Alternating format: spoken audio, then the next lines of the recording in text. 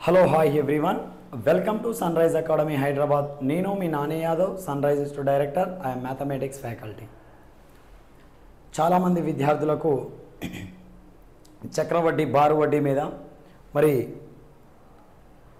Doubts ఉంటాయి. కొన్ని అంటే వాటి మధ్య రిలేషన్షిప్ అంటే వాటి మధ్య సంబంధంతో ప్రాబ్లమ్స్ అడుగుతుండే ఈ మధ్య.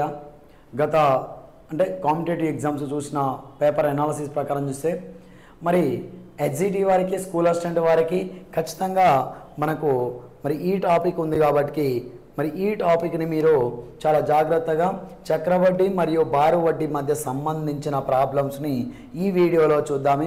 మరి ఎవరైనా ముందుగా చూసినట్లయితే లేదా మీ ఫ్రెండ్స్ కూడా షేర్ చేయండి. దానితో పాటుగా మరెందరో కూడా దీనిని సబ్స్క్రైబ్ చేయించుకోండి అని కూడా మీ మిత్రులకు కూడా తెలియపరచండి. అదేవిధంగా మరి మరెన్నో వీడియోల్ని నేను రిలీజ్ చేసిన వెంటనే మీకు మీ విజయానికి తోడుండేలాగా అలాంటి ప్రాబ్లమ్స్ మీకు అలాంటి కాన్సెప్ట్స్ని మీకు అందియడానికి మీ ముందుకు వస్తున్నా కాబట్టి మీరు చేయవలసింది ఒకటే అండి. మరి సబ్స్క్రైబ్ కూడా తప్పకుండా సబ్స్క్రైబ్ చేసుకోండి. అదేవిధంగా మరియు మర్చిపోకుండా మీకు నచ్చినట్లయితే మీకు ఎలా అనిపిస్తే అలాంటి కామెంట్ కూడా రాసి కామెంట్తో పాటుగా లైక్ కూడా ఒకసారి చేయండి. Thank you. సో ప్రాబ్లమ్స్లోకి వెళ్దామి. రైట్ ఫస్ట్ ప్రాబ్లమ్స్లోకి వెళ్తే చూడండి. కొంత సొమ్ముపై కొంత వడ్డీ రేటుతో రెండు సంవత్సరాలకు రెండు సంవత్సరాలలో లభించు సాధారణ వడ్డీ మరియు చక్ర వడ్డీలు వరుసగా ఐదు తొమ్మిది వందల యాభై నాలుగు రూపాయలు అయిన సొమ్ము ఎంత అసలు ఎంత అడిగాడు. అంటే చక్రవడ్డీ ఎంత? ఇది చక్రవడ్డీ కాంపౌండ్ ఇంట్రెస్ట్. ఇది ఎంత ఇచ్చాడు? సింపుల్. సింపుల్. అంటే సాధారణ వడ్డీ రూపంలో వచ్చిన మొత్తం సొమ్ము తొమ్మిది వందలు చక్రవడ్డీ ద్వారా వచ్చిన సొమ్ము ఎంత? తొమ్మిది వందల యాభై నాలుగు. సో ఏమన్నాడు? రెండు సంవత్సరాలలో అన్నాడు. రెండు సంవత్సరాలలో అన్నాడు. పీ తెలవదు అసలు. పీ తెలవదు కాబట్టి అది మొదటి సంవత్సరము మొదటి సంవత్సరము రెండవ సంవత్సరము రెండు సంవత్సరాలు.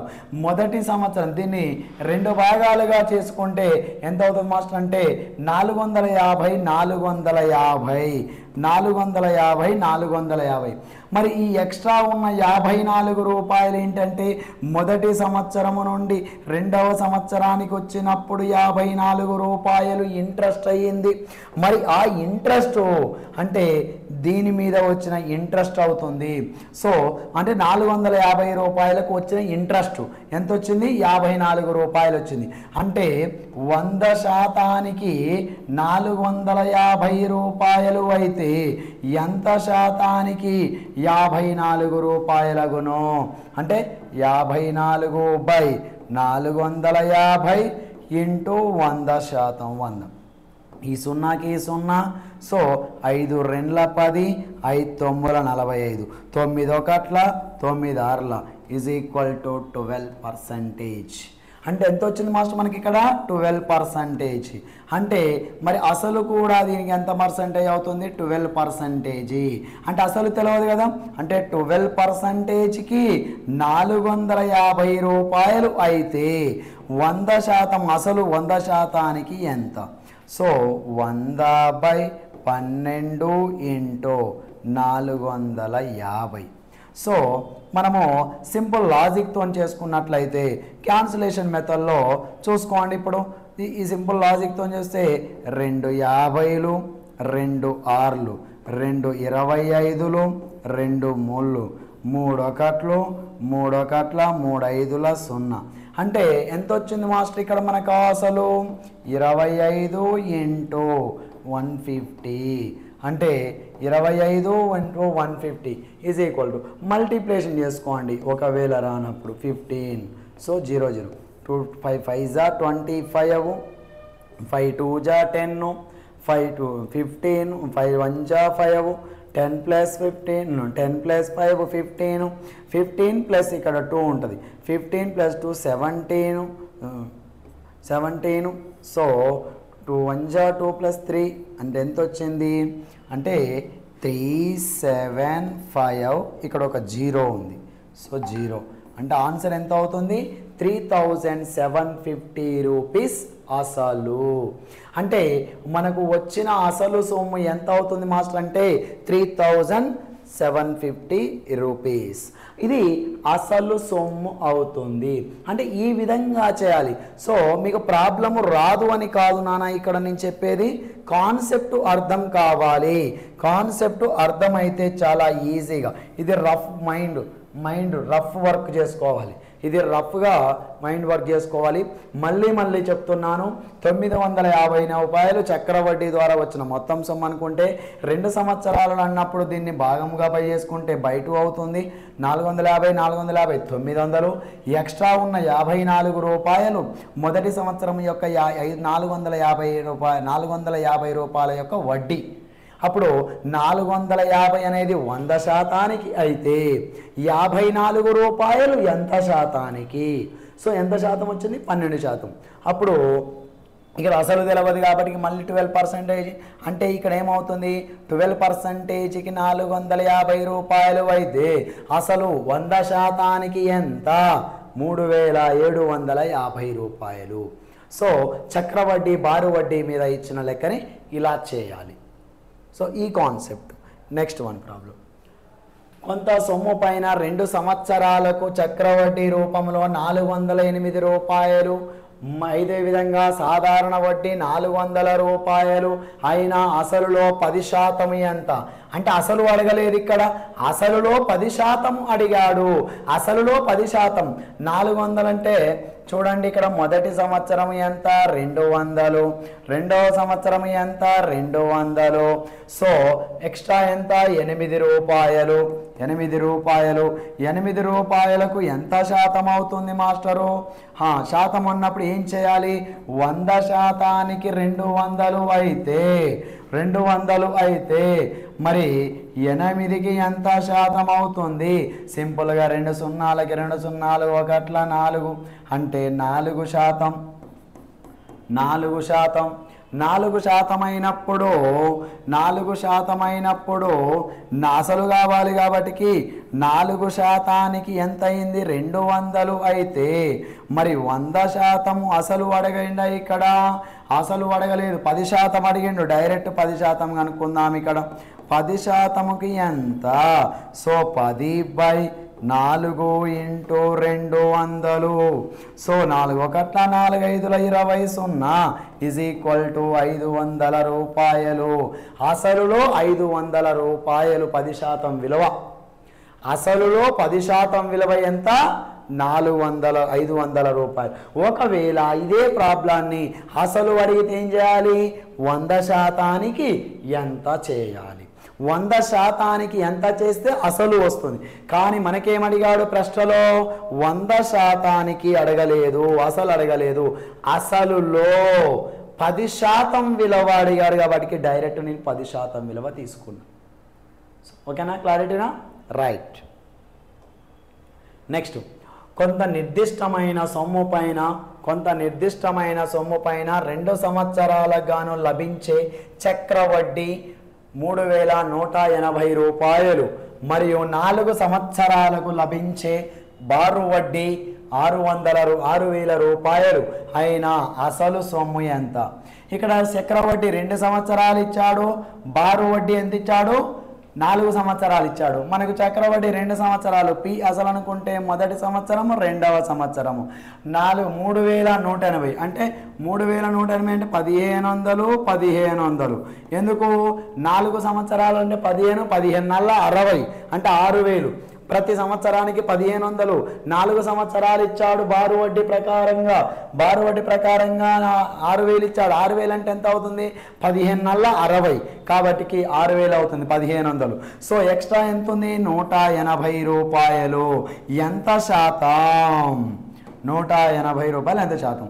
వంద శాతానికి వంద శాతానికి వంద శాతానికి పదిహేను వందలు అయితే నూట ఎనభైకి ఎంత శాతం? సో చూడండి ఇక్కడ. సింపుల్ లాజికే అవుతుంది డైరెక్ట్ క్యాన్సిలేషన్ చేయనా?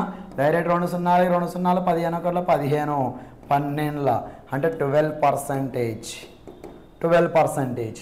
అంటే ఇక్కడ ట్వెల్వ్ పర్సంటేజ్ ఇది కూడా ట్వెల్వ్ పర్సంటేజ్. ఇంకా సింపుల్ లాజిక్. మనకు తెలిసిన మెథడ్ వంద శాతానికి పదిహేను వందలు అయితే వంద పన్నెండు శాతానికి.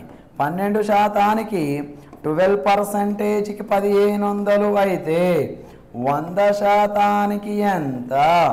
వంద బై పన్నెండు ఇంటూ పదిహేను వందలు సో మనకి ఈ రెండు సున్నా సారీ. అప్పుడు ఏమవుతుంది మాస్టరు? అంటే పదిహేను వందలు సో పదిహేను ఒకట్ల పన్నెండు ఎక్కల వదుద్దాం ఇప్పుడు చూడండి పన్నెండు ఒకట్ల పన్నెండు పన్నెండు ఒకట్ల పన్నెండు. మరి ఇక్కడ ఎంత మిగిలింది మాస్టర్? పన్నెండు పోతే పన్నెండు పోతే మూడు మిగులుతుంది.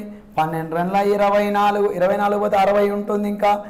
పన్నెండు ఐదుల అరవై. So one two five double zero. Twelve thousand five hundred ఆసాలు twelve thousand five hundred ఆసాలు సో ఈ విధంగా మనం ఆన్సర్ చేయాలి. నాలుగు సంవత్సరాలని యూజ్ చేసుకోకుండా కూడా సింపుల్గా నేను చక్రవడ్డీ రెండు సంవత్సరాలు ఇచ్చింది కాబట్టి మరి సింపుల్గా చక్రవడ్డీ రెండు సంవత్సరాలతో డైరెక్ట్ చేయడం జరిగింది. ఓకేనా? ఎవరు కూడా మర్చిపోవద్దు ఇలాంటి ప్రాబ్లమ్స్ని నెక్స్ట్ వన్ ఐదు వేల రూపాయల పైన రెండు సంవత్సరాలకు లభించే చక్రవడ్డీ మరియు బారు వడ్డీల మధ్య భేదం ముప్పై రెండు సం ముప్పై రెండు రూపాయలు. అయినా వార్షిక వడ్డీ రేటు ఎంత? అయినా వార్షిక వడ్డీ రేటు అడిగాడు. వార్షిక వడ్డీ రేటు అడిగితే ఎన్ని సంవత్సరాలు ఇచ్చాడు ఇక్కడ? రెండు సంవత్సరాలు. గుర్తుంచుకోండి రెండు సంవత్సరాలు ఇస్తే D is equal to PR square మరి ఇక్కడ పిఆర్ స్క్వేర్ అంటే ఆర్ అంటే పర్సంటేజ్ కాబట్టి ఇలా రాసుకుంటారు. కొంతమంది ఇలా కూడా రాసుకోండి. D is equal to P of R by hundred whole square so ఇది కూడా గుర్తుపెట్టుకోండి. ఎందుకంటే కొంతమంది ఆర్ అంటే డైరెక్ట్ తీసుకుంటారు. ఆర్ అంటే వడ్డీ రేటు కాబట్టి అంటే శాతము గుర్తు పోతుంది కాబట్టి బై వంద వస్తుంది. కాబట్టి గుర్తుంచుకోండి. ఇప్పుడు మనకి ఏమి ఇచ్చాడు ఇక్కడ మనకు చక్రవడ్డీ రేటు అడిగాడు. చక్రవడ్డీ రేటు అడిగాడు. ఐదు వేల రూపాయలు డి ఎంత ఇచ్చాడు? భేదము థర్టీ టూ ఇచ్చాడు ఈజ్ ఈక్వల్ టు ఐదు వేల రూపాయలు. ఐదు వేలు ఇంటూ ఆరు స్క్వేరు బై ఆరు square by R by hundred whole square. ఈ ఫైవ్ థౌజండ్ ఇటు తీసుకొచ్చుకుంటే R by hundred is equal to thirty two by five thousand square root two ఈ రూట్ టూ స్క్వేర్ ఇట్ అయితే స్క్వేర్ టూ సిక్స్టీన్ జా two thousand five hundred so sixteen by two thousand five hundred ఎంత అవుతుంది? Four by five so four by fifty ఎందుకంటే ఇరవై ఐదు. యాభై ఇరవై ఐదులో ఇరవై ఐదు వందలు. సో ఈ జీరోకి ఈ డైరెక్ట్ ఫిఫ్టీ వన్ జా ఫిఫ్టీ టూ జా R is equal to two four జా ఎయిట్ పర్సంటేజ్ వడ్డీ రేటు ఎంత? ఎయిట్ పర్సంటేజ్ ఆన్సర్ అవుతుంది. Eight percentage very very important అయిన కాన్సెప్ట్. సో ఇది ఎయిట్ పర్సెంటేజీ గుర్తుంచుకోండి. చాలా చాలా ఇంపార్టెంట్ అయిన కాన్సెప్ట్ మనకు. ఓకేనా? Right. Next one. Next one.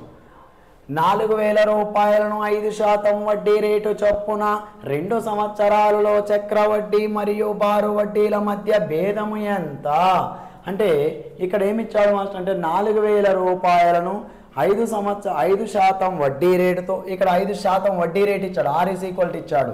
ఏమడిగాడు? భేదము అడిగాడు. డిఈజ్ ఈక్వల్ టు నాలుగు వేల రూపాయలు డిఈజ్ ఈక్వల్ ఫార్ములా ఇప్పుడే చెప్పాను. డిఆర్ స్క్వేర్ అంటే ఇక్కడ నాలుగు వేలు ఇంటూ ఆరు ఎంత? పది ఐదు శాతం. ఐదు బై వంద ఇంటూ ఐదు బై వంద. ఈ రెండు సున్నాలకి ఈ రెండు సున్నాలు క్యాన్సిల్ అయిపోతుంది. నెక్స్ట్ ఈ సున్నాకి ఈ సున్నా క్యాన్సిల్ ఐదో కట్ల ఐదు రెండ్ల రెండో కట్ల రెండు రెండ్ల. So D is equal to ten rupees ఐదు రెండుల పది రూపాయలు. సో మనకు చేయవలసిన క్యాలిక్యులేషన్లో ఇది. వెరీ వెరీ ఇంపార్టెంట్ రెండు బారు వడ్డీకి చక్ర వడ్డీకి మధ్య సంబంధం రెండు సంవత్సరాల భేదం అడిగినప్పుడు D is equal to PR square D అనగా భేదము. పి అనగా అసలు. ఆరు అనగా వడ్డీ rate. So very very important కాలంలో ఎలా అని మనం సార్ మరొకరు క్వశ్చన్ అడుగుతారు. ఒక్క సంవత్సరం ఇచ్చినప్పుడు భేదము సున్నా అవుతుంది. చక్రవడ్డీకి బారు వడ్డీకి సంవత్సరానికి ఒకసారి లెక్కించినట్లయితే అక్కడ ప్రిన్సిపల్ అమౌంట్ సమానం అసలు సమానంగా ఉంటుంది కాబట్టి ఇది సంవత్సరానికి ఒకసారి లెక్కించరు. అది కూడా సంవత్సరానికి ఒకసారి లెక్కించను అప్పుడు పెద్ద దారా రాదు. ఆ రెండింటి మధ్య సున్నా భేదం ఏమవుతుంది? సున్నా అవుతుంది. ఒక సంవత్సరం ఇచ్చినప్పుడు భేదం. కాబట్టి గుర్తుంచుకోండి. రెండు సంవత్సరాలు ఇచ్చినప్పుడు చక్రవడ్డీకి బారు వడ్డీకి భేదం ఎంత అవుతుంది మాస్టర్ ఇక్కడ? పది రూపాయలు వచ్చింది. ఈ ఫార్ములా గుర్తుంచుకోండి. D is equal PR square మరి కొంతమంది మూడు సంవత్సరాలు ఇచ్చినప్పుడు ఎట్లా చేయాలి సార్? సో చూద్దాం ఇక్కడ. మరి మూడు సంవత్సరాలు ఇచ్చినప్పుడు వెయ్యి రూపాయలను వెయ్యి రూపాయలను పది శాతం వడ్డీ రేటు చొప్పున మూడు సంవత్సరాలలో మూడు సంవత్సరాలలోని వచ్చే చక్రవడ్డీ పారు వడ్డీల మధ్య భేదం అడిగాడు. ఇక్కడ మూడు సంవత్సరాలు అడిగాడు. మూడు సంవత్సరాలు అడిగితే మరి ఇక్కడ మూడు సంవత్సరాలు అడిగినప్పుడు చాలా జాగ్రత్త గుర్తుంచుకోండి. D is equal to PR square of three plus R so ఇది ఫార్ములాగా గుర్తుంచుకోండి. ఇంతకు ముందుకు రెండు సంవత్సరాలు అడిగితే త్రీ ప్లస్ ఆర్ ఉండదు. Only D is equal to PR square కానీ మరి ఇక్కడ మూడు సంవత్సరాలు అడిగినప్పుడు ఈ ఫార్ములాను ఉపయోగించుకోండి. అసలు ఇవన్నీ ఎట్లా వస్తాయి మాస్టర్ అంటే సింపుల్గా ఫార్ములాస్ తీసుకొని ప్రూవ్ చేయాలి. అది ఆఫ్లైన్లో కావచ్చు లేదా లైవ్ బ్యాచ్లో చెప్తాము. కానీ ఇక్కడ మనకి ఏంటంటే మీరు ఆల్రెడీ ప్రాక్టీస్ చేసే ఒకవేళ ప్రూఫ్స్ కావాలనుకుంటే చేసుకుంటే వస్తాయి. సో అవసరం కూడా లేదు. డైరెక్ట్ ఈ ఫార్ములా గుర్తుపెట్టుకోండి. ఈ ఫార్ములాని గుర్తుపెట్టుకుంటే ఈజీగా ఆన్సర్ చేస్తారు. ఇందులో పి అయినా అడగొచ్చు డి అయినా అడగొచ్చు ఆర్ అయినా అడగొచ్చు. ఏది అడిగినా కూడా మనకు చేసుకోవచ్చు. ఇప్పుడు మనకి ఏం అడిగాడు? రిక్వైర్మెంట్ ఏముంది? భేదము. డి అడిగాడు. మరి ఇక్కడ డి ఈజ్ ఈక్వల్ టు ఏమవుతుంది మాస్టర్ అంటే? డి ఈజ్ ఈక్వల్ పి అంతా వెయ్యి రూపాయలు. పి ఈజ్ ఈక్వల్ టు వెయ్యి రూపాయలు. వెయ్యి రూపాయలు ఇంటూ ఆరు వడ్డీ శాతం. అంటే పది బై వంద ఇంటూ ఆరు స్క్వేర్ అంటే ఒకటి. ఇంకొక పది బై వంద. సో త్రీ ప్లస్ ఆరు పది బై వంద. సో క్యాన్సిలేషన్ చేసుకుంటే ఏమవుతుంది మాస్టర్ ఇక్కడ చూడండి. ఈ వందకి ఈ వంద క్యాన్సిల్ అయిపోతుంది. ఈ సున్నాకి ఈ రెండు సున్నాలు క్యాన్సిల్ అయిపోతున్నాయి. ఇక్కడ డి ఈజ్ ఈక్వల్ టు పది ఇంటూ పది ఇంటూ నెక్స్ట్ ఈ సున్నాకి ఈ సున్నా పది ముళ్ళ ము- పది ముళ్ళ ముప్పై ప్లస్ ఒకటి ముప్పై ఒకటి బై పది. సో ఈ పదికి ఈ పది క్యాన్సల్ ఈజ్ ఈక్వల్ టు ముప్పై ఒక్క రూపాయి. ముప్పై ఒక్క రూపాయ భేదం అవుతుంది. ముప్పై ఒక్క రూపాయ భేదం అవుతుంది. ఈ విధంగా మనకు రెండు సంవత్సరాలు మూడు సంవత్సరాలు ఇస్తే ఈ ఫార్ములాని వేసుకోవాలి. ఒకవేళ రెండు సంవత్సరాలు ఇస్తే D is equal to PR square D అనగా భేదము పి అనగా అసలు మరి ఆర్ అనగా వడ్డీ రేటు. సో ఇది మనకున్న కాన్సెప్ట్స్ సో మరెన్నో వీడియోస్ కూడా చేస్తాను. Okay master? ఓకే మరి ఇలాంటి కాన్సెప్ట్స్ చాలా కావాలి ఇలాంటివి ఉన్నాయి అనుకో కావాలనుకునే వాళ్ళు మన సన్ రైజ్ అకాడమీ యాప్ని డౌన్లోడ్ చేసుకోండి. ఓన్లీ లైవ్ బ్యాచెస్ మాత్రమే ఉంటుంది. లైవ్లో ఇప్పుడు నేను ఈ విధంగా ఎలానే చెప్తున్నానో అక్కడ కూడా లైవ్లో చెప్తాను.